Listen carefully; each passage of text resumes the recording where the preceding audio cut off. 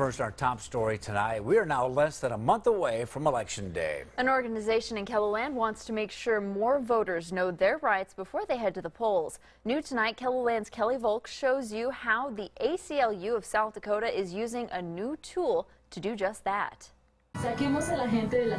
Alex Ramirez makes it his mission to help Hispanic people understand more about their city. He founded Pulso Hispano, a nonprofit that offers multiple services, including translating important community information into Spanish. You know, I just help whatever they need that needs translation or, or whoever needs help with, with the language. That's why he's pleased to see this new brochure from the ACLU of South Dakota circulating in Sioux Falls. This is, this is great information. It's a pamphlet breaking down voter rights in Spanish. What are people going to learn when they open up these brochures? Well, you know, I mean, everything from, you know, important information on deadlines. The brochure also spells out who can vote, how to register, and more.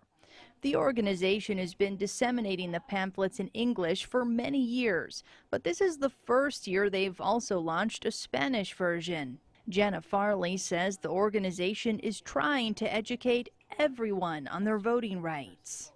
And so then, uh, you know, you look at the population in Sioux Falls, our Spanish speaking population is growing. Hispanics here in South Dakota want to be part of our community. And so, in order to do that, they need to they need to be able to vote if they're citizens. They need to be able to um, read what's going on in, in their community. And this pamphlet may just help. In Sioux Falls, Kelly Volk, KELOLAND News. The pamphlets are available at Sioux Falls businesses and organizations, including the Multicultural Center and online. We've included a link with this story at KELOLAND.com. South Dakota.